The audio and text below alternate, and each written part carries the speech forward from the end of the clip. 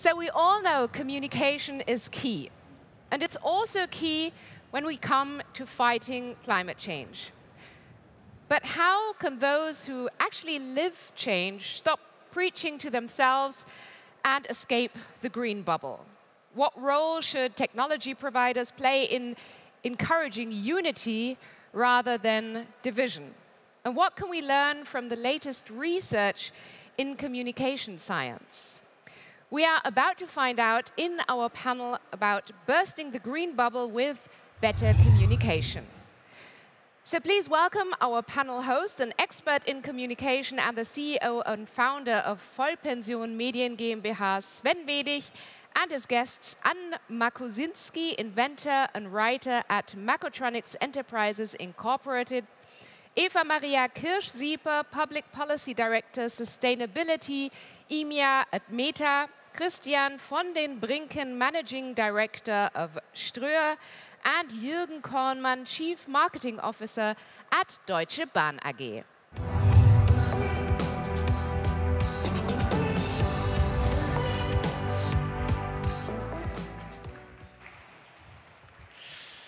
So. Hi.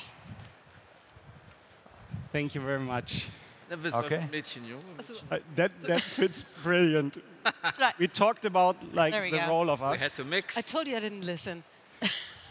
Happy to see you, all of you, in person. We have prepared a little game with you guys sitting here in the audience, which because we find out backstage that climate change needs to be the right persons in the right positions at the right timing in the right situation. So what we want in the first two minutes is that you introduce yourself like the man or woman behind you you have to say hello like in a church left to you right to you. We want a short conversation to you. Guys change visit cards. And if you have no one sitting behind you you have to move one row. So it's not a joke at the end. Please say hello. Otherwise i will come into the audience and help you guys introducing yourself ah yeah that works normally it gets a bit, a little bit louder Good. and the problem is then to get the audience back Yeah. So we will find out. We will find out. So, how many time do we give them? Like two minutes? 30 minutes. 30 minutes. 30 minutes, the entire panel. yeah. We yeah, can, we can great. lean back. We are talking. It might be talking. more interesting than our talk. It's a, They seem it's a pretty excited. communication panel. Come yeah, I mean, probably they building up the next relevant startup in terms of climate. In two minutes. For all the people who are like not talking to anyone else, have not understand We see the you. work, we see you. You guys as well. You have to move a little bit and introduce yourself. Oh, yeah, that works. So it's really bursting the bubble today, Yes. isn't it? Obviously, Yeah. obviously. The social bubble as well. This is how communication works. Yeah. Together. I- isn't it the claim, together we change? Yeah, absolutely. It's probably the claim Done. purpose. Think so. And we're done. We can go. Made it. we can go. Long trip, but we can go now.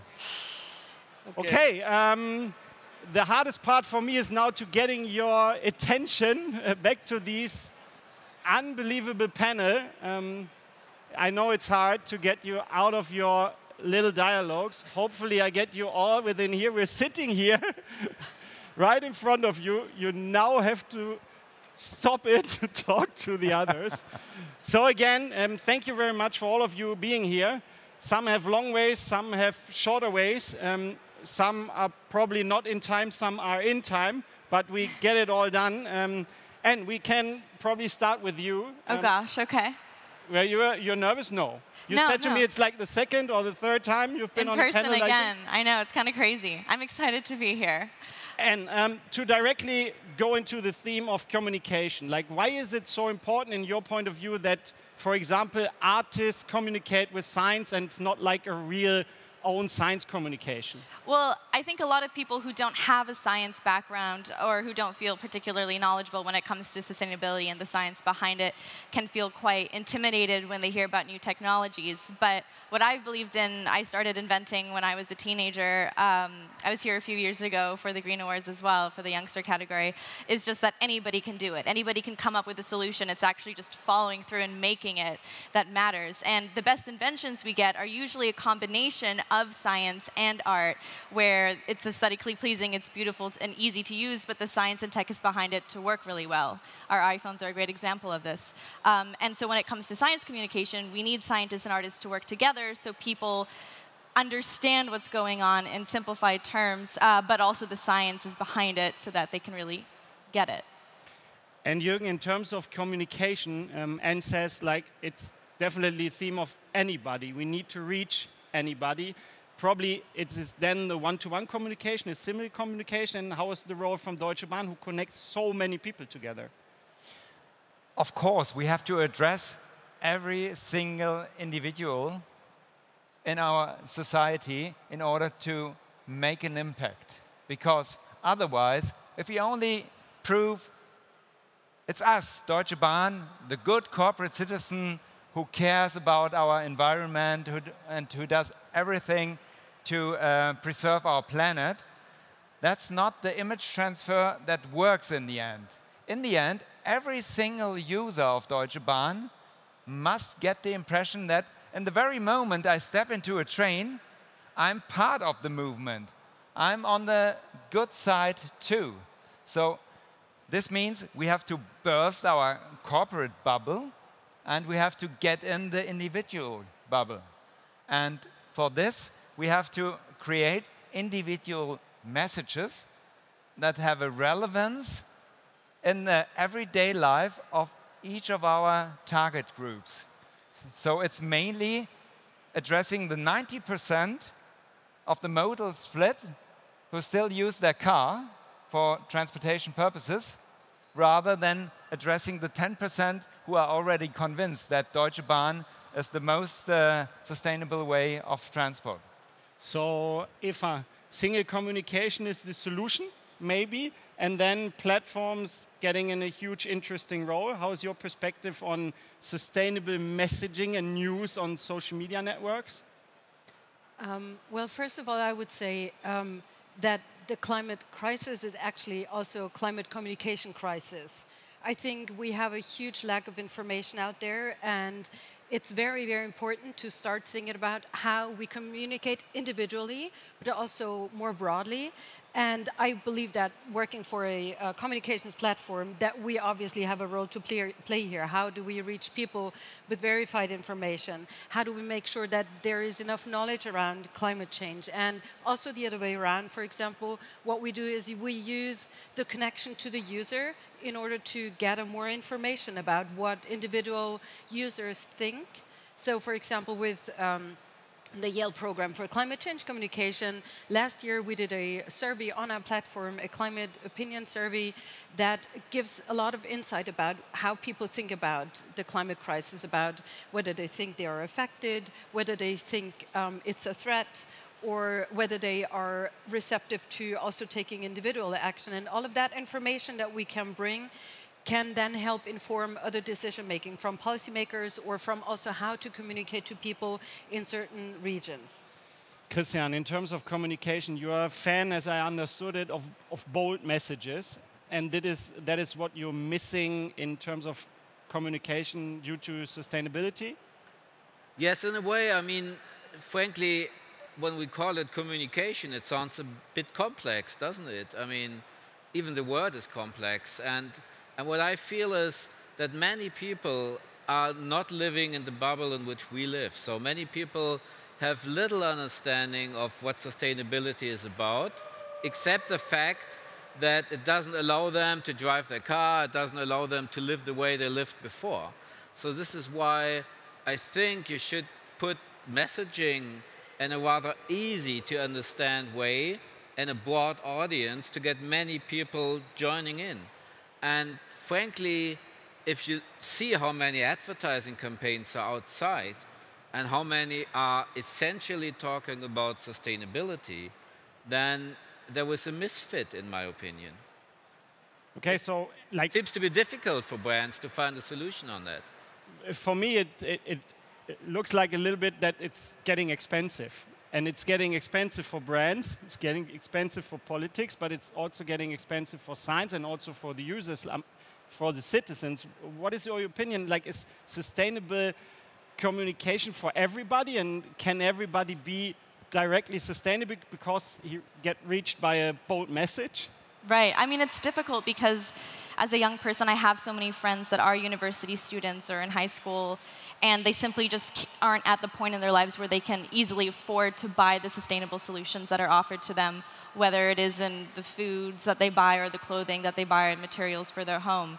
Uh, or wherever they live. So it's difficult, but it's also really important to have the messaging communicate to them that yes, this is like an easier and cheaper option, but thinking long term the actual effects that it has, not just on your bank account, but on everyone else, you know, is and the entire planet is really important. So it's something I believe sustainability is quote unquote affordable for everyone because it's not just about what you buy.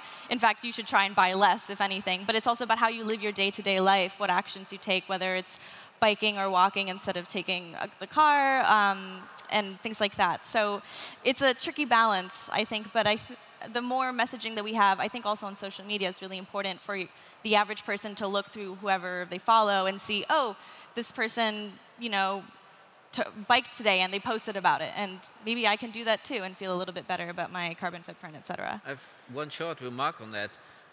Uh, we made a survey last year, and in Germany, roughly 50% of people care about sustainability.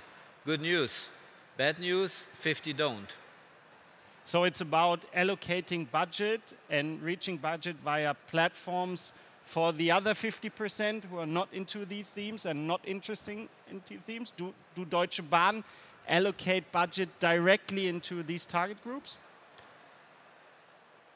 We rather try to create campaigns that really send out relevant messages to the target groups rather than um, creating uh, um, overall campaigns which who can't transport really the, the um, individual added value we provide for each and everybody.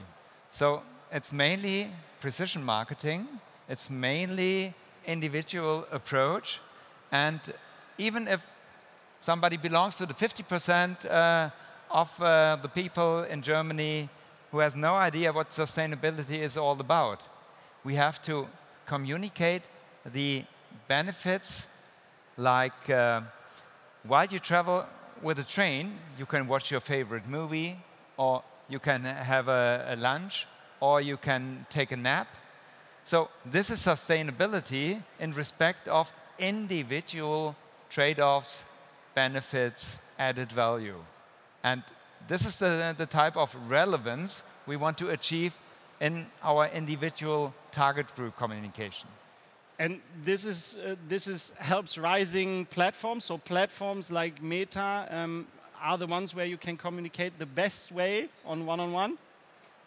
Well, they're one way of communicating, of course, but it, they're on platforms like um, Meta's platforms, there are, it's a great way to interact with people very directly and to reach them also with individual messaging, which I think is very important. But it's also a good way because I think before you can actually get people to take the train and feel good about doing something for the environment, you have to make sure that they understand that there's an issue. They have to have a certain knowledge level and a uh, level of understanding that a lot of people don't have right now. We, we are here in Germany, maybe there's high, like 50%, yes, but there's it might be lower elsewhere, might be higher uh, um, otherwhere.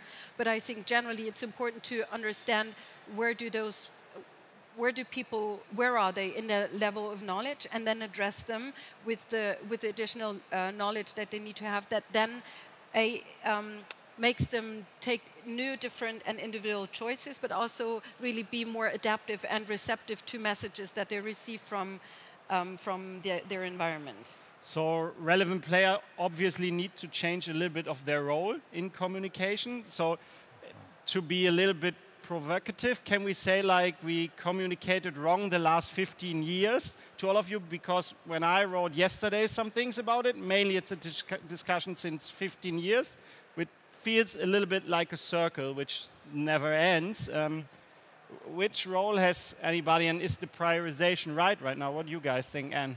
Oh gosh, well, I mean, talking about sustainability is one thing, but it's actually doing it and taking action on it, that's another. Um, I personally feel like the educational system has to radically change. I would almost say it's in some places almost 100 years behind um, when it comes to really starting kids at a really young age, even kindergarten, teaching them not just about sustainability and, oh, you should recycle, this is where the recycling garbage, but also about inventing and electronics. I think also slightly older kids starting to reach middle school and high school because they're on social media now realize, hey, I could actually have a positive impact if I share something that I've made online.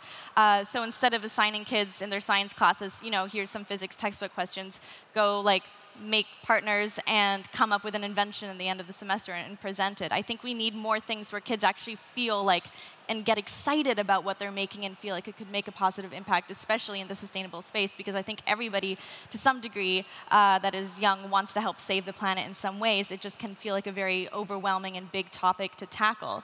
So I think introducing it very organically and this kind of problem-solving, inventing mindset from a young age is something we should we need to be doing at the very beginning. So conclusion is there to start earlier, going more into younger and younger people? Is this? Yes, I think that's part that needs to be addressed, like the root, the young people need to be addressed, and then as we get older, that's, I think, a different situation to address it maybe you can speak on.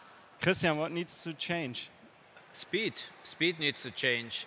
I think there was, everywhere you look, there was too much legacy. So, I mean, there was legacy in education, because what you said is absolutely right, but, but in Germany there is a Lehrplan, and the German Lehrplan would tell you that you're not allowed to put these crazy topics in the Lehrplan mm -hmm. just because they are not there yet. So mm -hmm. this is why they don't get in. Wow. So there was little innovation. And, and everywhere you look, I mean, even in, in how brands are changing their campaigning and advertising, we are too slow in what we do because maybe we love too much what we have because it's nice to have all this. Nobody wants to give it away for nothing, right? So, so there was no new promise. If you give it away what you have, what's a promise? There was little promise, and that's maybe the big difference between us and the Chinese. The Chinese government is very good in giving promises. okay. So we're going from earlier to faster to more relevant information and more like Yes, uh, I think one important piece, and of course, I agree that you need to start earlier and, and get that information out there. But of course, we're running out of time. We need mm -hmm. to mm-hmm. be faster. We can't wait until those who we're educating now are grown up to then take action. Action needs to happen today. So, what we know is that people take um, more action if they feel they're personally affected. And there are a lot of people who do not believe yet that they're personally affected. So one way, and being the corporate person here, of course, we're... Um, you both are. You both yeah, yeah, like, right. For your help. You're not alone. Um, we, we're trying to also um, build products that help sort of take more or drive that behavioral change. And I personally believe, for example, that VR, virtual reality, experiencing that and experiencing how it really feels to be in a in a flooded environment or how it really feels to be in a um, surrounded by fire or whatever it is. Um, getting that real experience and that cr creating that empathy, I think, can really help drive that change. So hopefully, our products will play a role in that regard as well. But again, that is only one out of many uh, things that we need to look at. Okay. So Jürgen, in my point of view, I was one of these guys who ordered a Bahncard 100 due to climate rabat, climate uh, discount. Uh, until the end of last year, it was like with Glasgow, I think, and that's right. That's where I bought for all of us in the company a Bahncard. So Good the decision. solution should be that all of the students and little school kids need a Bahncard for free. Is this possible? Well, actually, as we are still a state-owned company, uh, that's a question uh, our politicians have to deal with. Okay. Uh, from my personal point of view, why not? okay, so it's a bit about like next row politician from where, and that was like a sign I made in all of the preparation. There was always a sign which was euro or dollars. So from where is coming the money to do all of that? Is it just politicians or is it corporate platforms, media, inventions as well, founders? From, from, where's, from where's the money? Well, regarding Deutsche Bahn, we are part of the um, overall welfare. And uh, we have to fulfill the expectations of 80 million Germans and all our other customers uh, from, from other countries um, in order to be successful and to create an impact. For example, when we introduced the 100% renewable energies uh, for um, driving our long distance trains. Mm -hmm. By that time, in uh, 2012, nobody cared about it. So we have to be empathic, sensitive, and we have to be early adopters of overall trends in our society. And uh, it's, it's uh, very much the same with the um, food on board of our trains. Right now, we offer 50% organic, uh, vegan, or uh, vegetarian uh, food. We are ahead of the, of the uh, trends of, of the society, but we have to be ahead in order to make a change. Mm -hmm. a, a, little bit harder in like order to make a change in terms of learning. Um, I also write one thing down due to the preparation that was COVID. And I was like, uh, at one point, I had a sign which is like COVID similar to climate crisis, but climate crisis is far longer. And the bigger problem overall, did we learn something out of COVID crisis in terms of media invention, but also platform and corporate? Is there, in your point of view, any kind of learning which we have out of these like COVID times? Well, I mean, there was a, at the beginning of COVID, the uh, WHO had a clear announcement to, to, to everybody out there to improve communication. And many uh, municipalities were asking back, why should we improve communication? We have a completely different crisis. And they said, this is very much about people doing what you tell them to do. So if you don't succeed in communication, they won't move. You will tell them to use a mask and people will not do it. You will tell them to get vaccinated and people will not do it. And I fear now we have the mess because we were not good enough in communication. I personally would say we are still not very good in this and we definitely have to improve that. For COVID, for climate crisis, actually for any transformation that is ahead of our society. By the way, also for digitalization which hasn't yet really begun, in my opinion. Yeah, I had these bad experiences. And uh, please add Yeah, this. I mean, it's interesting for me because when COVID began, I'm Canadian, but I was living in New York. And I very viscerally kind of experienced the American reaction to it, which was funny because I don't think a lot of people really understood COVID was like a real thing that was happening until Tom Hanks caught COVID in Australia. And then America was like, COVID is happening, everybody run. And it was truly appalling, just not just in America, but I was that's what I experienced. Just how many people did not believe COVID was existing or that it was real or it was like all these conspiracy theories which is a huge problem in communication is now all these people are putting crazy things online that people are totally sucking up and believing like oh it was planned you know don't get the vaccine and put a chip in like all these things and i was just like what is going on in the state so i really science communication is just so important on multiple levels but i was especially reminded of it during covid when so many people around America, people that I knew in Canada, were just like, it's not real, it's not a thing, it's just, you know.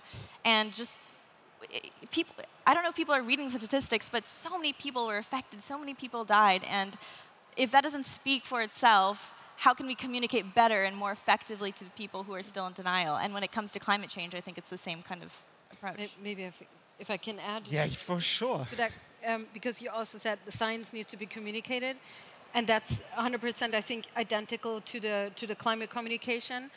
And then you need additional science to understand how to uh, how to communicate the science, yeah. right? So that's actually yeah. what we do. We work with the Yale program for climate change communication that supports us in understanding how we actually reach people, and they work with us in, in doing that survey that I just talked about. So I think that is a, a question within itself: how to communicate it right so it actually lands with the people. So they, for example, also understand that there is basically no doubt within science that climate change is happening, that climate change is man-made. Those are still things that people are not sure about. So, but still, how do you communicate that to the people? And that's where I think platforms like ours can play a really good role in, in getting those messages out.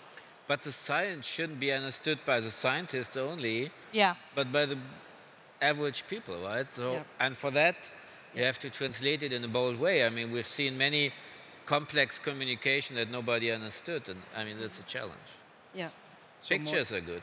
Yeah. So is there for Deutsche Bahn as well learnings in terms of digitalization, but also climate change, like due to COVID? And you can say we can transfer them hard because, in my point of view, it's really hard to understand. We learned so much. Yeah. We had to pay price for that, Yeah. but now we not like transfer these learning into the next step, which Yeah. is weird. Like how how do corporate like yours handle this? Well, despite the fact that um, COVID caused huge losses in respect of um revenues, um, it taught us a, a great lesson because we learned that in this special situation, we have to reduce our communication to the really essential pieces of information that are relevant to our users. In, in, in the very beginning, we canceled all our campaigns and we, we concentrated on the pieces of information how can I travel in times of COVID? Is it secure? What do I need to know? How can we get through this together? What are the uh, measures uh, of Deutsche Bahn in respect of uh, hygienic uh, uh, things or um, di digitalization, um, contactless ticketing, and so on? All that was really forced and, and speeded and accelerated in, in this time. And I'm really glad that we learned that less communication and uh, less um, variety of, um, of uh, certain um, campaigns and, and certain uh, messages we want to get across is better than having a, a, a situation where you don't provide enough help and uh, uh, support for the people which have to concentrate on the uh, things which are important during pandemic. We're, we're running a bit at the end of this really, really interesting thing. If we have to, or like everybody have to put three things on the table of communication in terms of green and sustainability, what will these three things be which you put on the table? Is it bold message? Is it buzz- budget? What, what, like when we go the way around and what will you put on the table? Well, will I personally, or what yeah. do I hope will No, personally. personally? Yeah. Um, well, currently I'm writing my first book on the inventing mindset, which is basically the concept that every, anyone can be an inventor. Um, we're all built, we've evolved as humans to solve problems for each other, uh, and it kind of helps people rediscover that because typically when we think of an inventor, it's not usually, it's usually like an old bald man from the 1800s. So I want to kind of rebrand that and bring it to the newer and younger generations. So that's something that I'm putting on the table.